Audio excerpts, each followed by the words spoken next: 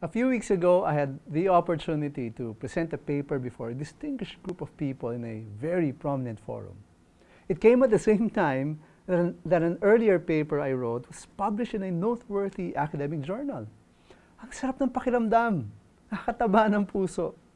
It felt really good to be given that privilege and recognition. And all I could say with the deepest sense of gratitude welling from my heart was, Thank you, Lord. We experience a lot of blessings in our lives. Uh, you might have found your dream job. Your business finally turns around and makes a profit after many years of loss. You got your biggest prospect to sign a big sales contract.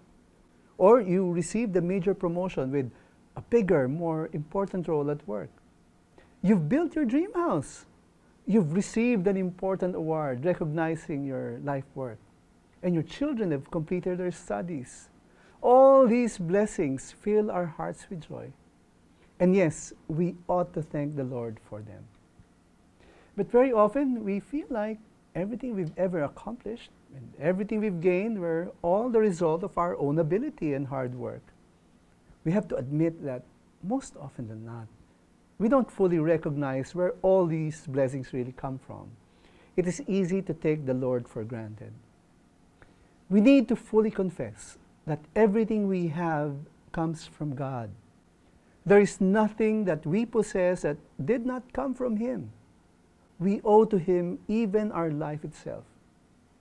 Therefore, it is just right that we give our highest praise and thanksgiving to Him. And we can take some lessons from a famous character in the Bible.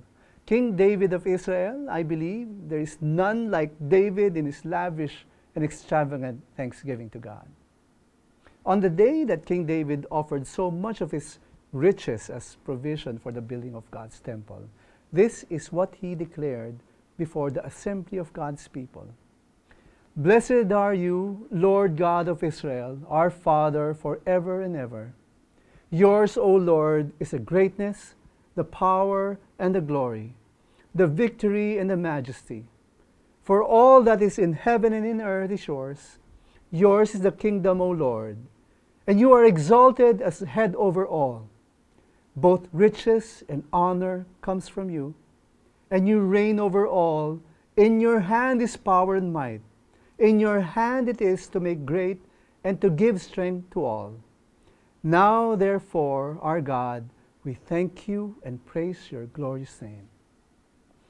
Such generous praise and thanksgiving. And God deserved all that. So, just like King David, thank the Lord for every blessing you receive in life. Be extravagant in your thanksgiving. Be lavish in your praise. Allow the deepest feelings of gratitude to well up from your heart as you say, Thank you, Lord. Remember that as we thank the Lord for everything in our lives, faith matters too.